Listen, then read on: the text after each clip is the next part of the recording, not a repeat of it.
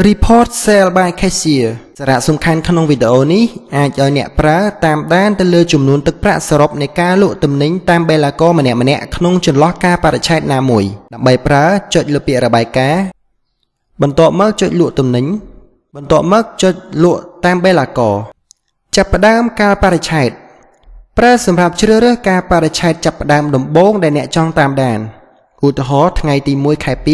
2018រហូតដល់កាលបរិច្ឆេទប្រើសម្រាប់ជ្រើសរើសកាលបរិច្ឆេទចុងក្រោយបង្អស់ដែលអ្នកចង់តាមដានឧទាហរណ៍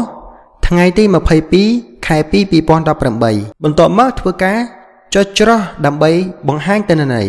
សិក្សាពី column ក្នុង report បេឡាកបង្ហាញពីឈ្មោះបេឡាកម្នាក់ម្នាក់ចំនួនប្រតិបត្តិការបង្ហាញពីចំនួនប្រតិបត្តិការដែលបេឡាកបានប្រតិបត្តិការ ទឹកប្រាក់សរុបជាចំនួនទឹកប្រាក់សរុបពីការលក់ទំនិញបញ្ចុះតម្លៃសរុបជាចំនួនទឹកប្រាក់ដែលបានបញ្ចុះតម្លៃប្រាក់សរុបចុងក្រោយគឺជាចំនួនទឹកប្រាក់លក់ទំនិញដែលត្រូវគិតពីអតិថិជនក្រោយការបញ្ចុះតម្លៃសរុបឧទាហរណ៍ទិន្នន័យជាក់ស្ដែងបេឡាកឈ្មោះលឹមចន្ទាគាត់មានចំនួនប្រតិបត្តិការចំនួន1ទឹកប្រាក់ដែលគាត់មានគឺ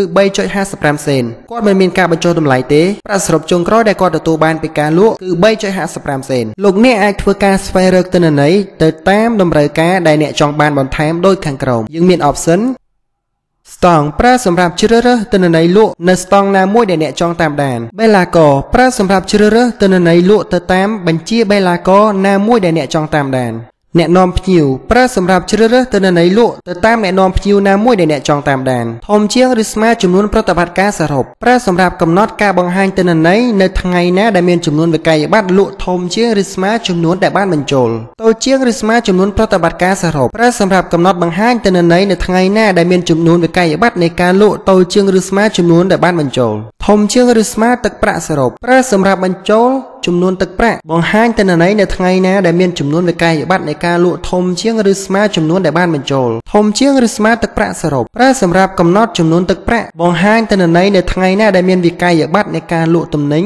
ធំជាងឬស្មើចំនួនដែលបានបញ្ចូលតូចជាងឬស្មើទឹកប្រាក់សរុបប្រើសម្រាប់កំណត់ចំនួនទឹកប្រាក់បង្ហាញទិន្នន័យនៅថ្ងៃណាដែលមានចំនួនវិក័យប័ត្រនៃការលក់តូចជាងឬស្មើចំនួនដែលបានបញ្ចូលធំជាងឬស្មើបញ្ចុះតម្លៃសរុបប្រើសម្រាប់កំណត់រោគទិន្នន័យបញ្ចុះតម្លៃទំនិញនៅថ្ងៃណាដែលមានចំនួនវិក័យប័ត្រនៃការលក់ ធំជាងឬស្មើចំនួនដែលបានបញ្ចូលបញ្ចុះតម្លៃទំនិញសរុបតូចជាងឬស្មើបញ្ចុះតម្លៃសរុបសម្រាប់កំណត់រោគទិន្នន័យបញ្ចុះតម្លៃនៅថ្ងៃណាដែលមានចំនួនវិក័យប័ត្រនៃការលក់តូចជាងឬស្មើចំនួនដែលបានបញ្ចូលធំជាងឬស្មើទឹកប្រាក់សរុបចុងក្រោយប្រើសម្រាប់កំណត់រោគទឹកប្រាក់សរុបចុងក្រោយនៅថ្ងៃណាដែលមានចំនួនវិក័យប័ត្រនៃការលក់ធំជាងឬស្មើចំនួនដែលបានបញ្ចូលតូចជាងឬស្មើទឹកប្រាក់សរុបចុងក្រោយ